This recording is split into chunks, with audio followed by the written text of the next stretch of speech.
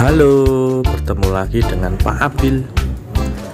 Pak Abil adalah guru di SD Negeri Percobaan 2. Sebelum kita lanjut, jangan lupa ya videonya di like, di komen, di share boleh, dan di subscribe. Oke, terima kasih.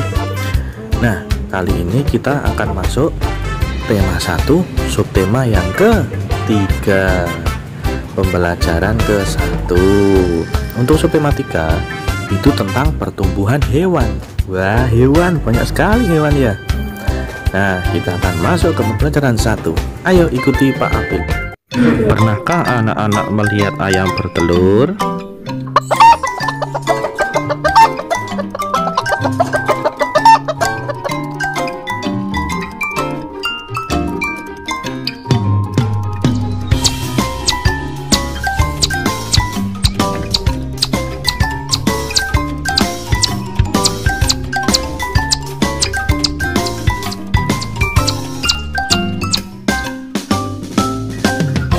Pertumbuhan ayam. Ayam merupakan salah satu makhluk hidup. Tubuh ayam berbulu dan memiliki dua kaki. Ayam memiliki paruh dan bernapas dengan paru-paru. Ayam berkembang biak dengan cara bertelur. Ayam mengalami perubahan bentuk mulai dari telur sampai menjadi ayam dewasa. Setiap hari, ayam diberi makan minum sehingga ukuran tubuh ayam menjadi besar. Ayam mengalami pertumbuhan. Itu dia anak-anak. Nah, berikut mulai dari telur, menetas, dan makin dewasa dan menjadi ayam yang sudah besar. berikutnya kita akan menggambar dengan hias bermotif. Cobalah membuat gambar hias bermotif hewan yang kamu suka Tapi sebelum menggambar kamu harus berlatih dulu Yaitu berlatih membuat garis seperti ini. Coba kalian tirukan garis-garis yang ada di buku itu. Itu untuk melatih anak-anak Kita akan membuat gambar ayam anak-anak. Pertama buat lingkaran.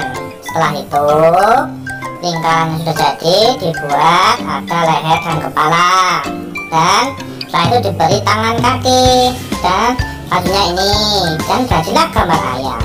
Untuk berikutnya bisa mencoba gambar anak ayam seperti ini anak-anak contohnya. Ada pada buku paket kalian contohnya bisa kalian coba di rumah. Nah, mudah kan anak-anak membuat gambar ayam lingkaran tadi? Bisa kalian praktekkan di rumah ya. Perhatikan soal cerita berikut ini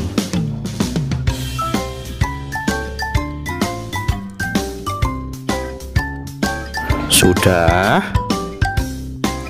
Oke Berapa banyak anak ayam Udin semuanya? Caranya bagaimana? Ayo Caranya 10 ditambah 10 sama dengan 20 Jika ditulis dalam bentuk perkalian adalah 2 kali 10 yaitu 20 jika ada soal 3 kali 4 maka yang anak-anak jumlahkan 4 nya ya. 4 tambah 4 tambah 4 sama dengan 12 Nah jangan sampai terbalik ya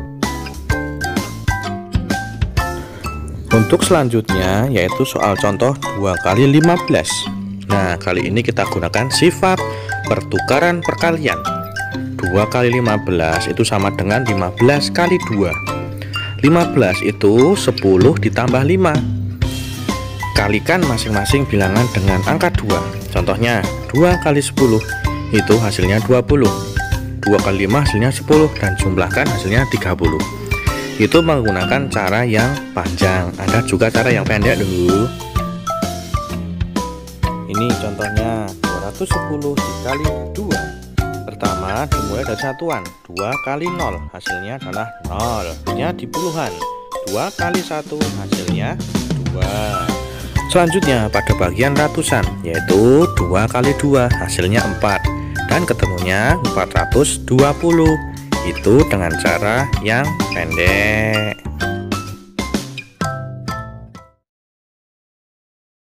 Demikian ya video dari Pak Abil Tetap semangat belajar dan jangan menyerah karena perjuangan kita masih belum berakhir. Semangat! Terima kasih. Dadah.